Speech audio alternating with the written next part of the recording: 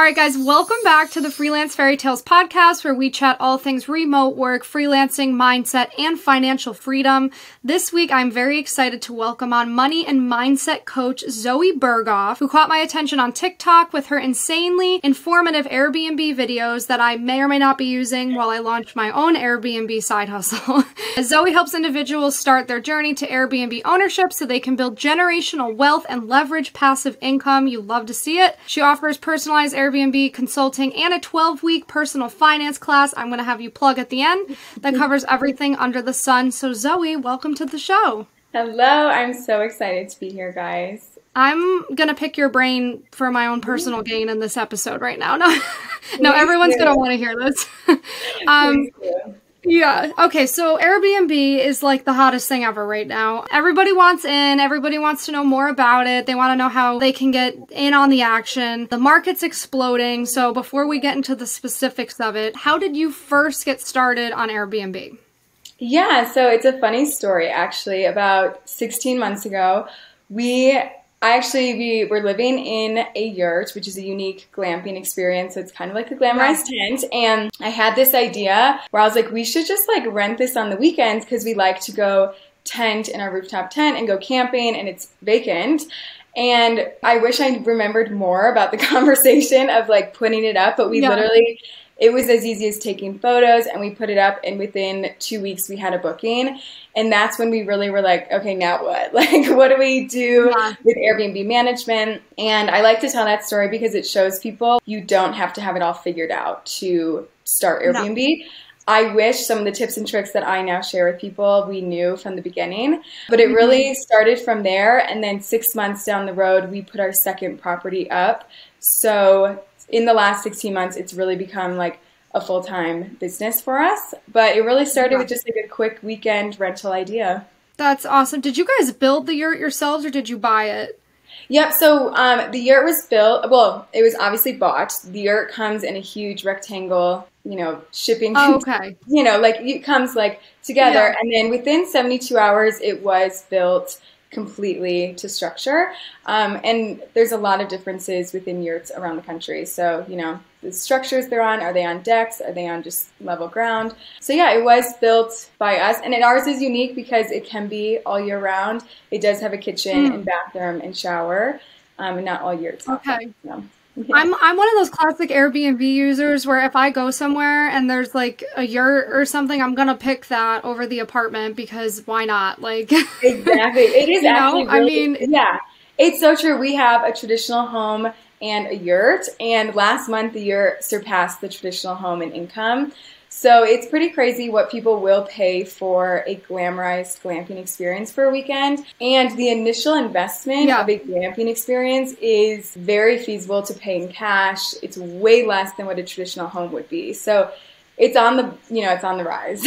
yeah, I mean, you know, with the glamping thing, I would love to get into that too, but I feel like um, what stops me is all the permitting that I imagine goes into yeah. having like a glamping experience approved. Do you have any like tips for that? Really, just yeah. you gotta do all your homework.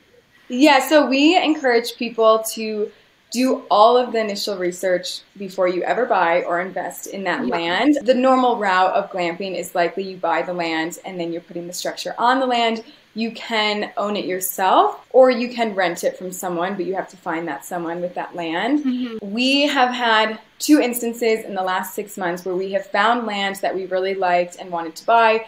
We literally went and visited it and everything. And before we ever invest in a piece of land, we call the county, we tell them what we want to do. They are pretty straight up with you and they'll tell you, like, yeah, you can do that, but you need to have a camping permit or you need to have this mm. permit or it can't be more than two structures on five acres. So they'll tell you, you know, what's the legal limits within that county or city. You do sometimes have to go, you know, in areas that aren't as popular, but that's also the experience of glamping. So national parks, you know, mm-hmm. it's kind of like out there areas. They're not yeah. as harsh as big cities would be. But do your research, ask the questions, tell them what you want to do, even if you're not sure if it's a storage container house or a yurt, and be very sure that it's legal and permitted correctly because some instances, if you do not have the correct mm-hmm. permitting and they find you, whether someone turns you in or you're on Airbnb, um, you can be fined up to $10,000 a night with people in that house. That's not legal. So it's not only your own protection, but a financial protection. So I would definitely encourage you, like, do the homework, do the research, ask yeah. the questions. I feel like that's the part nobody wants to do, right? All the homework yeah. and the government websites and calling up the county. Everyone's like, how can we get around that part? Yeah, exactly. But I always say, um, like, the more research you do with Airbnb, the better investment and better educated you can be when you make that purchase. So it's worth it, but it is a lot of research. Yeah. So in that arrangement, you would say to someone, go, you know, find the right land that you know is going to permit it. Yep. Buy the land, and then you would buy the yurt or the TP or whatever it is yep. in a prefab thing, and it just gets shipped to you, and boom. Yeah, there's tons of companies out there that do these glamping experiences, which is really cool. I know someone who bought a yurt, and they were able to contract it for like 12, 15,000 and it was built out within a month. So if you don't have those like handyman skills, there are people that can do these things for you. You can buy storage mm-hmm. container houses for, you know, 75,000 and it's completely done for you. Or you can save the cost and do some of the labor yourself. But since it's a growing industry, finding that TP a renovated Airstream, a yurt. There's so many different ways. You really can yeah. find a company that works for you and with you. That's what I would be doing because I am not doing the manual labor to set up a yurt, nor would I be good exactly. at it, I don't think. yeah, it definitely takes um, some time. yeah, no, for sure. So you said, okay, so you have two listings right now. So is this what yep. you do full time? This is not my full time job. I like to tell people that Airbnb I mean, maybe when you get to four or five listings, it's full time work or full time income mm-hmm. for you. But with two listings, it's probably like one to five hours a week of our time. There are two of us that kind of jump on the listings, but to be honest, I do more of the management communication side, and he does more of like, you know, if there's maintenance or issues with the actual structure. So okay. it takes one to five hours of my time a week. It has produced full time income, but I do not mm. find the need to just sit around all week and do different things, you know, yeah. for five hours of work and getting paid. So I, I do other things in addition to Airbnb. That's awesome. So for you, it's a side hustle for now. Yeah, it definitely know? is. Yeah, and we do plan to grow and expand where it could be a full time workload or job. But that's the coolest thing about Airbnb is the payout is full time income potential, but the workload is nowhere near 40 hours a week unless you're in that like starting phase of building or something like that. Yeah, that's amazing, guys who are listening to this, because I have a lot of people who follow me for freelancing, obviously, which mm-hmm. can be time consuming to make good money at it and they all want to know what's some ways my money can work for me in the background while I'm running my freelancing business, Airbnb. Now, for the people listening, I always hear this misconception. They're like, I don't have enough money. I don't have 50K in my bank yeah. account. I can't do it. So, and I always see you guys have the best video responses to this, but what would you say to the person who, who thinks they need 50K to do this? Yes. Um, well, not everyone who's in Airbnb has had $50,000 in cash to invest. So there's cool ways to work with Airbnb nowadays where you can do co-hosting for literally zero dollars. Like you can start today mm-hmm. if you guys want to. So that's basically the management of someone else's property that they own it, they invested in it, but they don't want to do the day-to-day management. So they are going to pay you a percent of that monthly rental income and you are going to do that for them. The coolest thing about co-hosting is before you make that big investment into Airbnb, you can figure out if you actually like it and you like the hospitality yeah. industry. And I mean, it's as simple as you find those hosts, and I can talk on that too. You message them, and you just need that one phone call with someone to start that side hustle. And co-hosting could bring in, depending on the house's monthly rental income, you know, like one to three thousand a month, little more, a little less. So it's pretty cool. There's also rental um, Airbnb arbitrage. So you sign a lease and you are able mm-hmm. to, in the contract, it's legal for you to short term rental that apartment or that condo or that house. And you are signing to pay that lease every month. It's going on Airbnb, and whatever you make in addition, you are taking home as profit or for your expenses. So I, as you guys probably know, you don't need to have 50,000 to get an apartment or condo. Mm-hmm. Um, you know, you might, I suggest like security deposit, first month's rent, and maybe you have the first three months set aside in case those bookings are slow. You are not putting yourself out financially by starting that Airbnb venture. So you don't need 50,000. yeah. No, no, brilliant. Okay, so yeah, where would one go find somebody who owns a property who's looking for yep. a co-host Airbnb it for them? Yeah. So I think one day in the future, I'm not sure if this will be the case, but I do think Airbnb may have like a co-hosting you know, like oh, board sure. or marketplace. Like mm-hmm. you need a co-hoster, here's all our co-hosters. You need a host, here's your host. Right now that's not the case. So I do encourage people, you'd be surprised what word of mouth can do for you. So just yeah. by telling talking about Airbnbs in our community, I know probably five families that have Airbnbs that would never have told me, but because I brought it up, they said, "Oh, we do that too." So word of mouth can go pretty far for you, friends and family. If you are not in that situation where you really know someone in your network with an Airbnb home, I do encourage you to start networking just like freelancing. Mm-hmm. You know, no client is going to come right to your door. It's just no freelancing right. world is like that and neither with Airbnb hosting.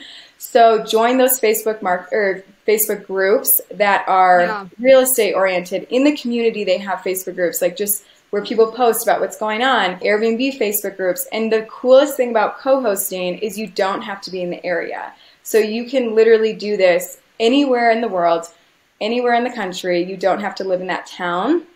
And start pitching yourself, start deciding what services you're going to offer, come up with that template pitch you want to send to people. And I have people I work with who they will message 10 people and two of them already are willing to get on a call with them and the rest have said yeah. you know maybe in the future not quite yet so there's quite a few places you just need to get creative just like freelancing yeah, I mean, it, it only makes sense, right? If somebody's sitting on a property somewhere and they're paying the mortgage for mm-hmm. it and mm-hmm. they're like, hey, I'd love to not pay this mortgage but still own this house, like, Yep. I feel like it's almost a matter of just sharing the education of this with them. They'd be like, "Oh, I'm so down." like, yeah, the coolest thing is a lot of people I work with who want to co-host and pitch themselves to a host. I tell them the host doesn't even realize this is a thing you can offer. Like hosts, exactly. Hosts are not usually 20, 30 years old. They're people who have acquired multiple homes. They do this just for some additional income. It's not their main focus they don't even realize co-hosting is an option mm-hmm. for them mm-hmm. to have. And who doesn't want extra help when it comes to messaging people at 10 p.m. on a Saturday? Because that will happen. so you need to be yeah. that responsive co-hoster for that host so they don't have to worry about it. I know. I mean, before TikTok, I would not have ever known about Airbnb arbitrage or this co-hosting mm-hmm. arrangement. You just wouldn't know it. And with the Airbnb arbitrage, I've been kind of putting my yeah. feelers out there. I put on my Instagram story. I'm like, hey, any landlords out there? Any people who uh, who want to sign off on this? Now, I think people might think to themselves, oh, that sounds easier said than done. That you get someone yeah. to write into the lease that you're going to Airbnb the property. Is this even real? And yeah. what would you say to that?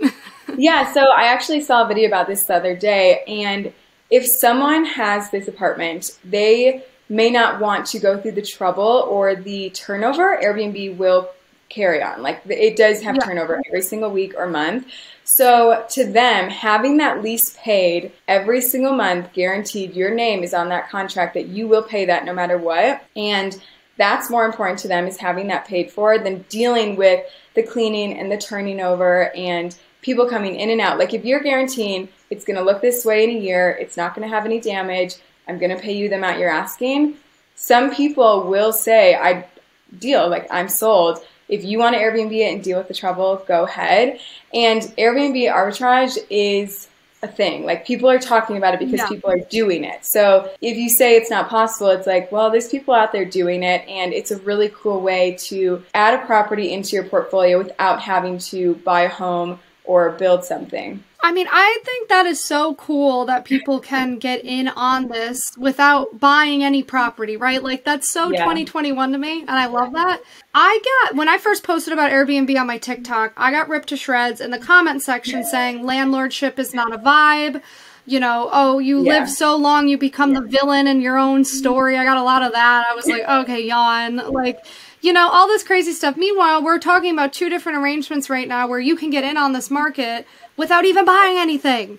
Exactly.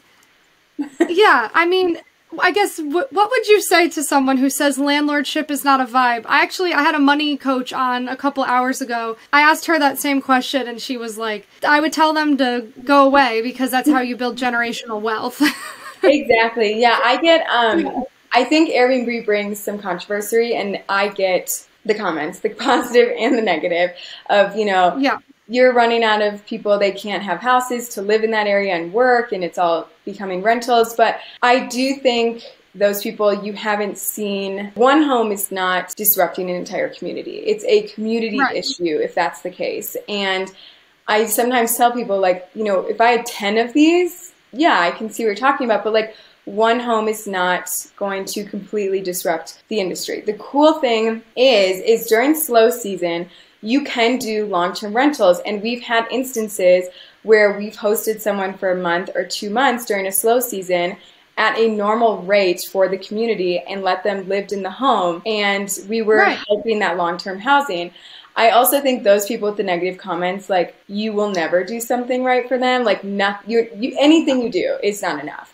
No. Um, and it's yeah, it's building generational wealth, and it's also you know it's just a new way to use a house and offer it to a family to use it in an experience that they're going to remember forever.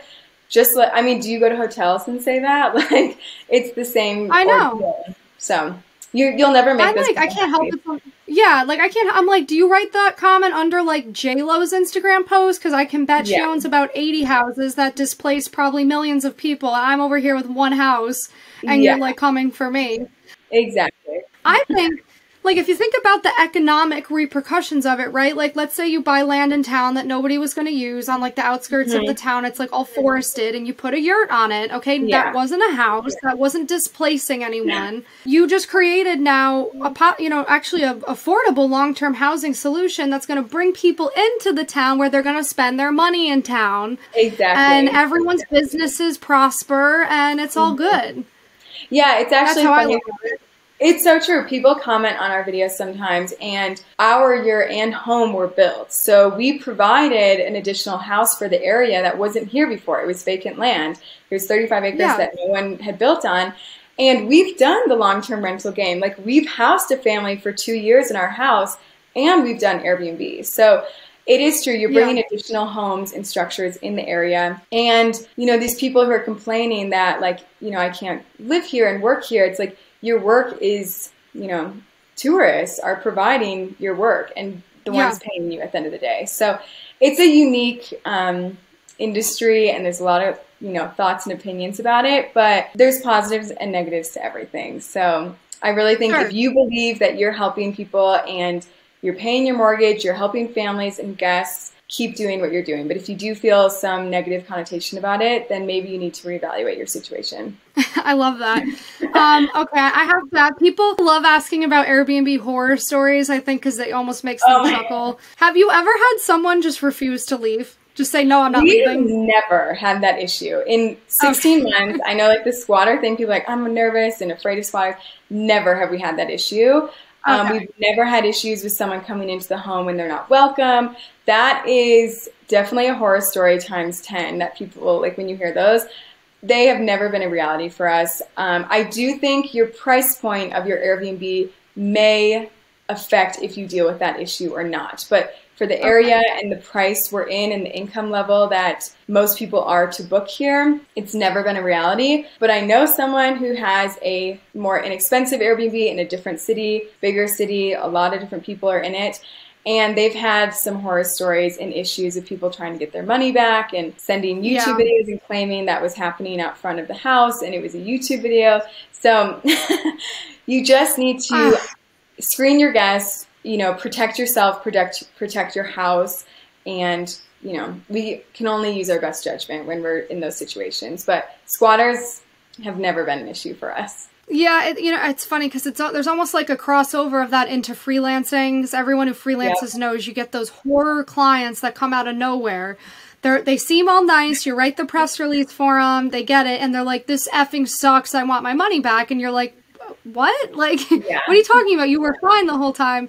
And I just feel like there's no business where you can avoid that today. I mean, mm-hmm. I just think that's part of business in a way. Yeah. So you've given, I, I've seen on yours really good tips to anticipate people being crazy, to have photos sent after the cleaners are done, right? To like uh, yes. to protect yourself.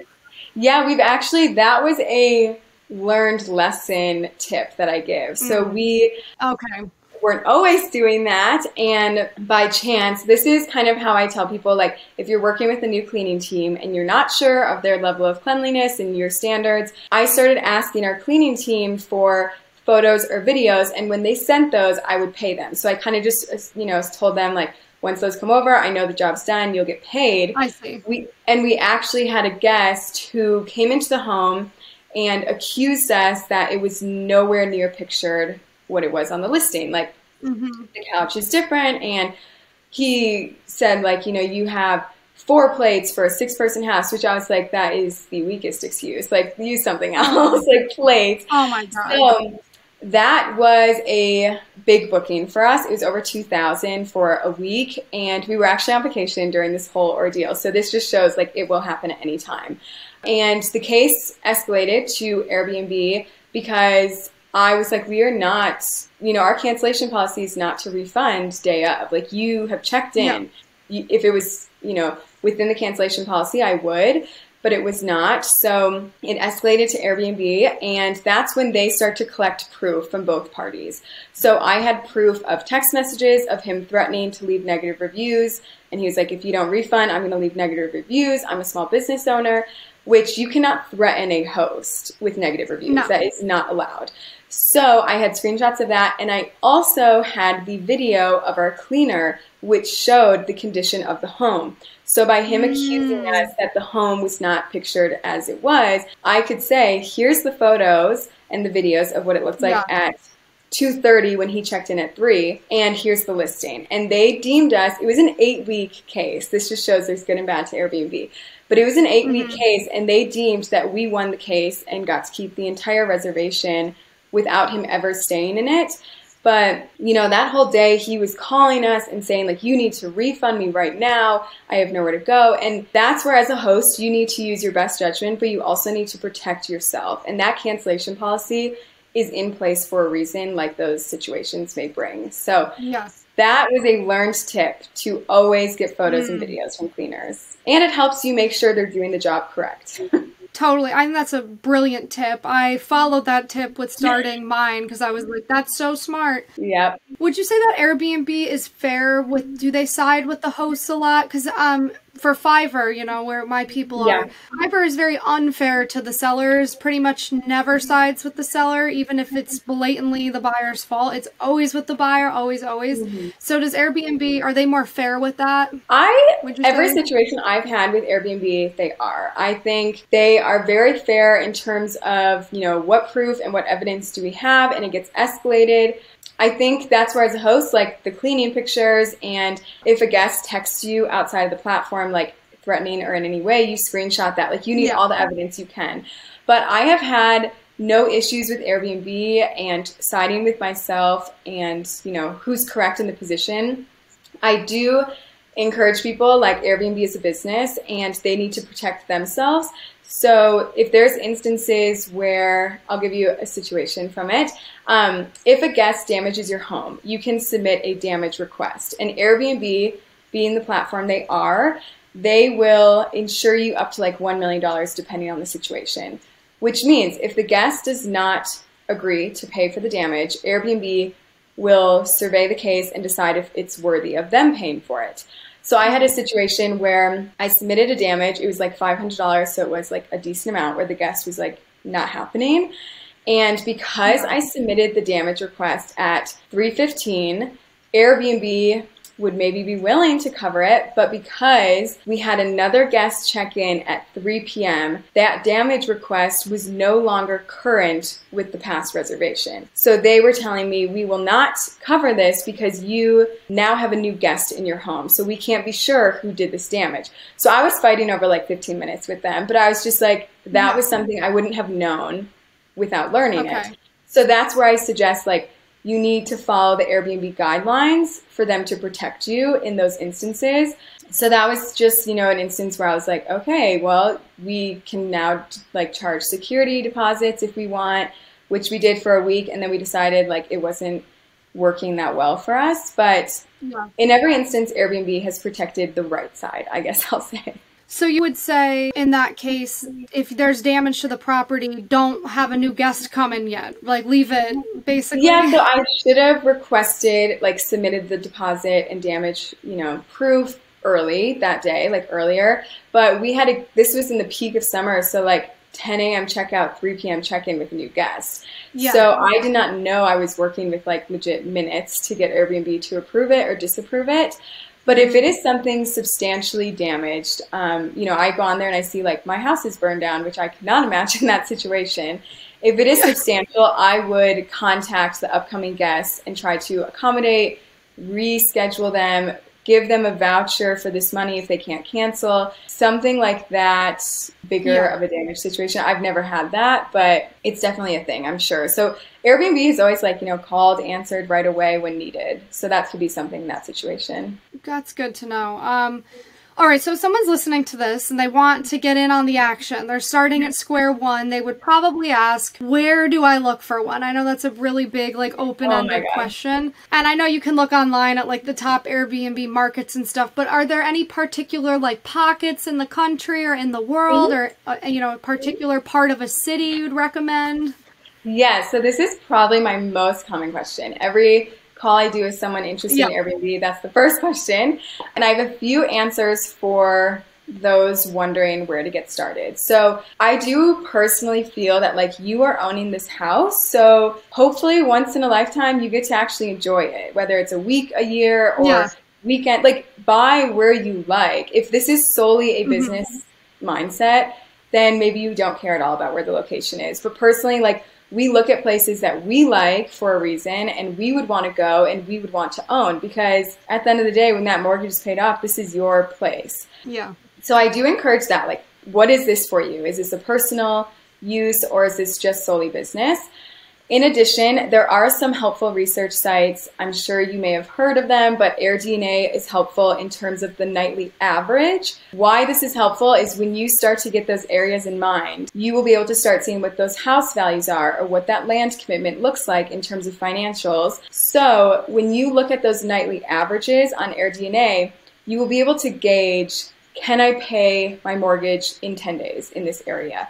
If the average is 419 and then 119, that's going to look a lot different in terms of your investment and profits that you're making. There's also Mashvisor is interesting. If you have the paid version, it will tell you what the expected Airbnb income will be produced from that home. Like in each home where they're listed, what the averages are, how much they might produce for you. That is like amazing. Um, that's pretty valuable information. Yeah. I also tell people, you know, that there's the obvious areas of like beaches and mountains. National parks are growing huge because there really aren't hotels fit for national parks quite yet. So, Williams, Arizona, there's barely anywhere to stay to visit one of the biggest national parks, the Grand Canyon, in the country. So, you're going to start yeah. to see camping experiences show up there. You know, there's obviously the tourist towns and the vacation towns. I do suggest, like, be mindful how far are you from an airport? Would people pay to get on an airplane to come to your area and stay there. But that yeah. being said, you don't have to have an Airbnb in a really popular upcoming area. You Airbnbs mm-hmm. work all over the country. So I would take that into account. And I also tell people like the actual Airbnb platform is highly, highly underrated. We competitively use the Airbnb platform every single week to get insights on pricing, up and coming areas, what the rates are looking like in certain areas, there was an instance where we almost bought in a town and we decided to look on Airbnb what was offered. And there was one home on Airbnb in that town. And we were like, that could either be really good or yeah. really bad. So yeah. I think people need to start thinking of Airbnb, the actual site, as a resource as well for research when looking at where they want to buy. Yeah, when I set up my listing a couple weeks ago, I actually didn't realize it was going to take like two hours because it's so extensive now. Because I've been using Airbnb as someone who's staying at them for like seven years. I was like a day mm-hmm. one Airbnb user. Like, I was using it back when people just had like one blurry picture and like a title, and I could have probably been like killed or something. That's yep. when I was using it. So when I was uploading it, I was like, wow, this site has come, like, this site is incredible. Like, the mm-hmm. technology mm-hmm. on Airbnb in the actual platform is incredible. It really is. And I do encourage people to, you know, Airbnb is a business. They are not guaranteed to show your listing on the front page. Like, you got to play the game yeah. just like they are. So to every, I swear, every week or month, they're coming out with new platforms. Now there's on there like, is your home wheelchair accessible? Is your door accessible? Like, show us proof, show us mm. photos. Use every single option they have. Fill it all out. Spend the time, like you said, two hours, yeah. and really revamp and create that listing. If you half-ass it, not sure if I can say that, but if you do, you are going to be yeah, able to. you are going to notice like, your bookings are going to show that you're not really using the platform to where they they want you to use all those features. That's why they're there. So every, you know, two weeks, every month, I look at our listing and make sure it's utilizing all of the characters and all of the spots to fill out, just like you probably saw when you were filling yours out. Yeah, I mean, it's the same principle as when you're setting up on Fiverr. I can't tell you how many mm-hmm. people will just like rush through their Fiverr profile and then wonder why they're not getting a thousand dollar clients. It's always the same concept. You gotta do your due diligence. You have to go slowly in the beginning. You have to research it. You have to make sure there's no typos. You have to have nice photos taken. Same thing on Fiverr, you know, it's, it's all the same game. Now I know there's you know this this you could answer this over three hours really of how does one start an Airbnb business and I know you have services to help people with this, but what would be your like if you summed it up three steps if someone was like okay I understand now where to look now what what would mm-hmm. you say to them in a very general way? My three biggest tips is do your research. I think if you get anything out of this podcast, research is key whether you're co-hosting or wanting to own by doing your research, you're going to be able to make a more confident, educated purchase decision or client partnership with a co-hoster and host. So research is key. My next tip, and this is just the reality of Airbnb, is like you financially have to make sure it makes sense and works for you, especially if you're investing in a home. You need to make sure you've done your due diligence. What does my investment look like? People ask me all the mm-hmm. time, what are average expenses on a monthly basis, which really depends on the house. Our expenses can vary from $150 for a glamping experience and over 2000 from home. So what are you expecting to invest in and what are your expected monthly expenses? You really need to be financially, which is why I started with personal financing and it turned into Airbnb and they really collaborate yeah. well together because you just have to. Like, it, you know how it is. It takes a while to save sure. for that investment, but it's worth it. And you're buying a house here. It's like one of the biggest purchases people make in their whole life. So my third tip would be don't underestimate the power of learning and researching right now. Because by doing all of this work right now that a lot of people don't want to do, you will be able to feel confident when that time comes and you'll know this is a good investment for myself and my future and generational wealth. And I think people really, mm-hmm. they're like, well, I can't start. I can't buy something tomorrow. Not many of us can buy something tomorrow, but that doesn't mean you can't get started into Airbnb with co hosting, arbitrage, and ownership. And by learning from others who are in the industry and listening to podcasts like this and you know learning about real estate you're really doing a lot of work that you don't credit yourself for and yeah. you know a lot more this week than you did the week prior so I try to work with everyone and tell them like you're on the right path, you're doing a good job. Even though you can't put a listing up tomorrow, it doesn't mean you're not well on your way to the Airbnb life. I love that. You're like, yeah, it's, it's money, mindset, Airbnb, like all rolled into one with your brand. Um, I absolutely love it.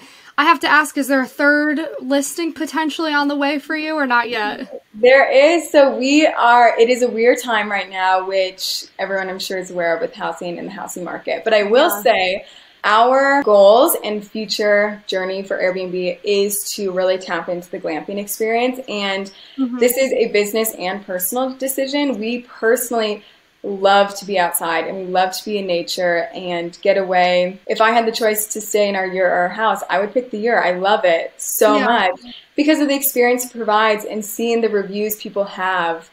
You know, they just the people that get it, they get it and they love it. They're like, this was heaven on earth. And that's where I'm like, I'm so glad we share this with others and not just ourselves. Yeah. So down the road, we do foresee glamping experiences being a focus because the investment's a lot more realistic. The experience is one of a kind. And you know, we personally enjoy it more.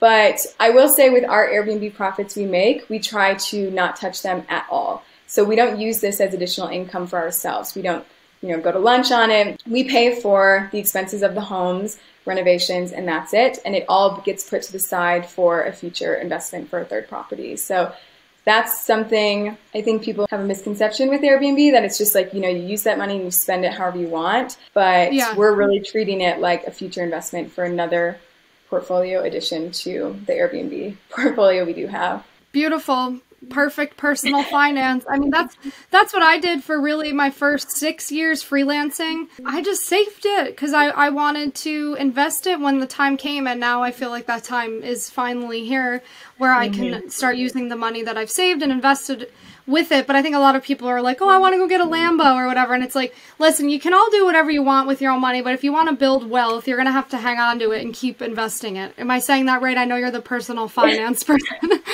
I would 100% agree. I tell people, like, do not get lost in what everyone else is doing and buying. And don't buy what society's telling you unless it truly yeah. makes you happy. You know, you have to, personal finance or business or Airbnb, those finances need to be in 100% working order and they need to be organized and clear.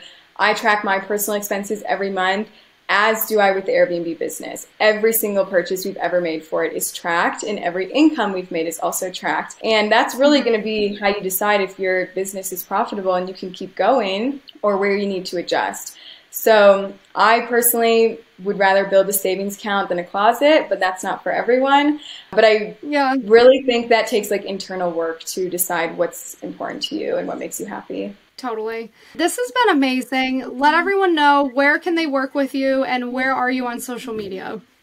Yeah, so you can follow me on TikTok. This is like the Airbnb everything. It's TikTok. So it's just at Zoey Berghoff and Instagram as well. This is where you're going to see like the outdoor life of ours and the Airbnb world, just at Zoey Berghoff. And then if you are interested in an Airbnb consultation or a 12 week personal finance course with myself, you can find everything at my website, just zoeyberghoff.com. Pretty simple. Um, and we really talk everything personal finance, Airbnb investment, future real estate investments. And everything I teach and share is because I did it myself. So I only yeah. can teach others how to do things that I've done myself and learned from. So, yeah.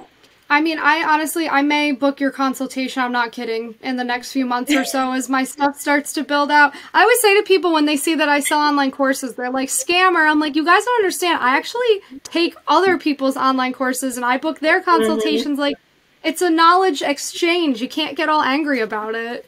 Exactly. Yeah, we actually have a glamping Airbnb like 101 everything you need to know course coming because it's such a okay. yeah, it's such a new industry and honestly my boyfriend he is the king of finding land and building like he has the master vision and I tell him like that's yeah. feasible or not.